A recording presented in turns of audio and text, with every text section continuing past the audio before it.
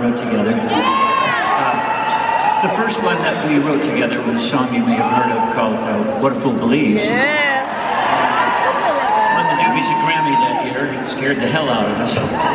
We, uh, we avoided each other's phone calls for a few months. And then uh, I, I ran into Mike at the supermarket and I said, Michael, we have to write a second song. And uh, I think we should just get together, write a shitty song, get that out of the way, and then do what we do. So uh, this is the shitty song that we wrote, This is it. which, uh, which also won a Grammy the next year. Should have written more shitty songs. And uh, the melody came pretty quick. The melody came with a couple lines of lyric attached to it. Opening line just popped right out, and that was, there have been times in my life I've been. And, uh, which seems like the opening line to a book or something.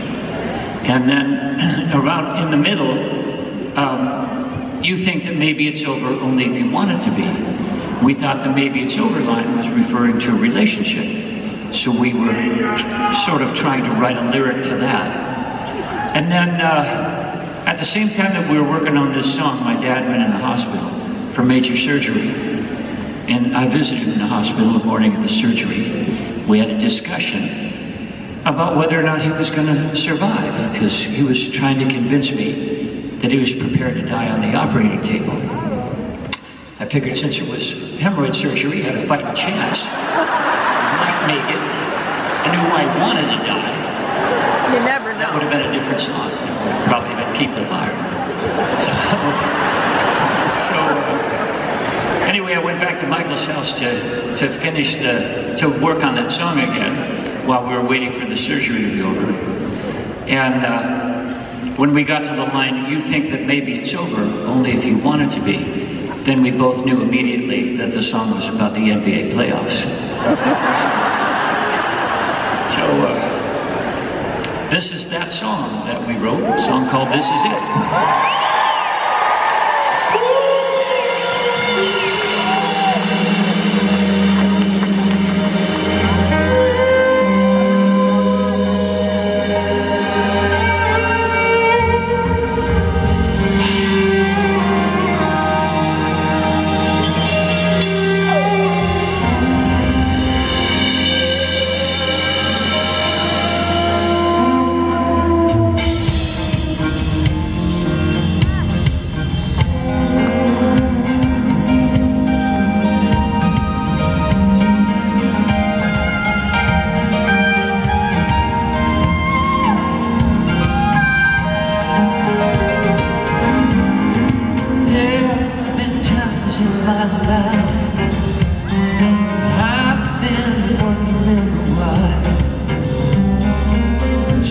Somehow I believe we'd always survive.